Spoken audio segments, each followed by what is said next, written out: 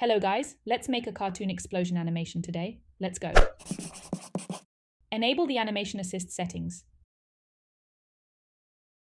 First, I draw something similar to an asymmetrical star with different length rays.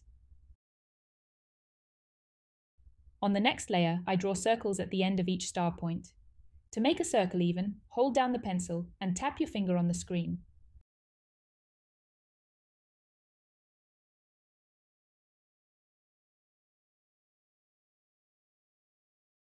I reduced the onion skin opacity so that the underlay wasn't so bright.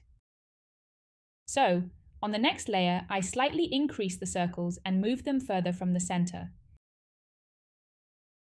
I want to draw another closer row on the same frame. For this, I create a new layer and group it with the layer with circles.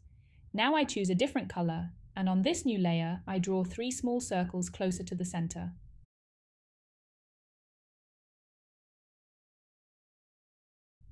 Moving on. Create a new layer.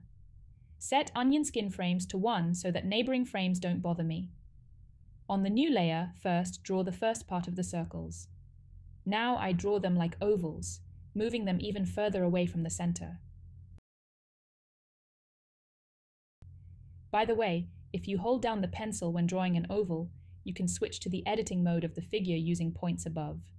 Moving on, now create a new layer and group it with the ovals. Here, we enlarge the front plane circles.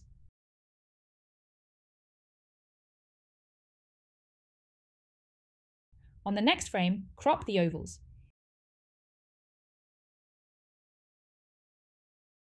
You can also break some of them into two parts.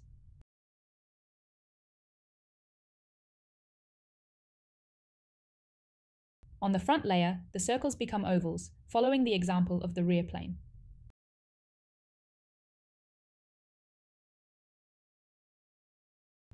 Let's set frames per second to 12 and preview it. Okay, let's move on. Now, inside this group, create another layer and choose a new color. Also, draw several small circles in the center. As a result, we already have three planes, rear, middle, and front. On the new frame, for the rear plane, cropped ovals turn into curved lines, trying to reduce them and slightly break them apart. On the middle plane, we squeeze the ovals and move them aside.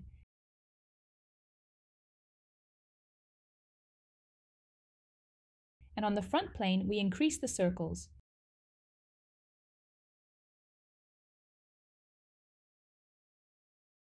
Go to the next frame. Here, on the rear plane, we continue to decrease and break the lines. The movement from the center is already minimal, moving just a little. On the middle plane, we continue to squeeze the ovals and move them to the sides. And on the front plane, we increase the circles. As you understand, then everything is repeated. On the rear plane, there are lines. On the middle plane, we cut off the ovals.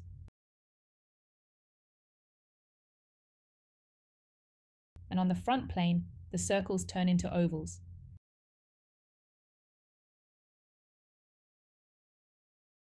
Let's watch a small preview. On the next frame, I already remove the rear plane and draw the transformation of cropped ovals into lines.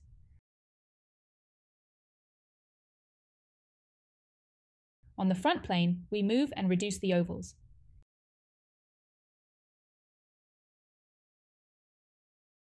I do several more frames, following the pattern, until all the figures disappear.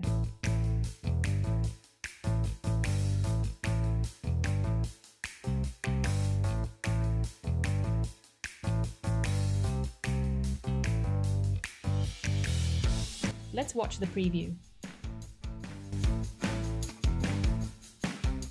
It looks good, but we need to add another smoke layer. We go back to the beginning of the animation, and on the second frame, we create a new layer below the circles. We draw a dark circle in the center.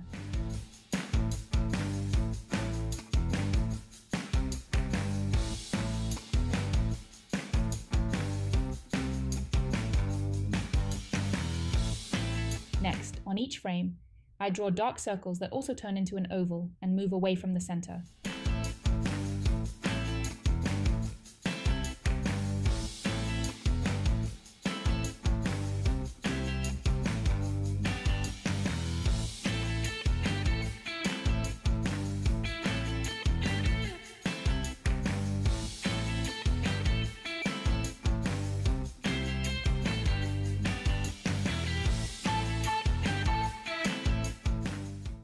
Smoke should disappear last.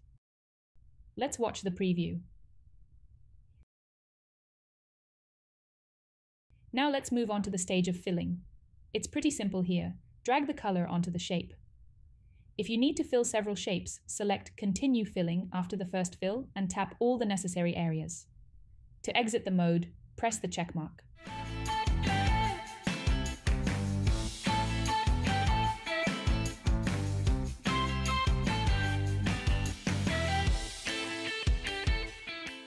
Guys, here's a finished cartoon explosion animation. What do you think about today's lesson? Was it useful or interesting for you? Thank you. See you in the next video.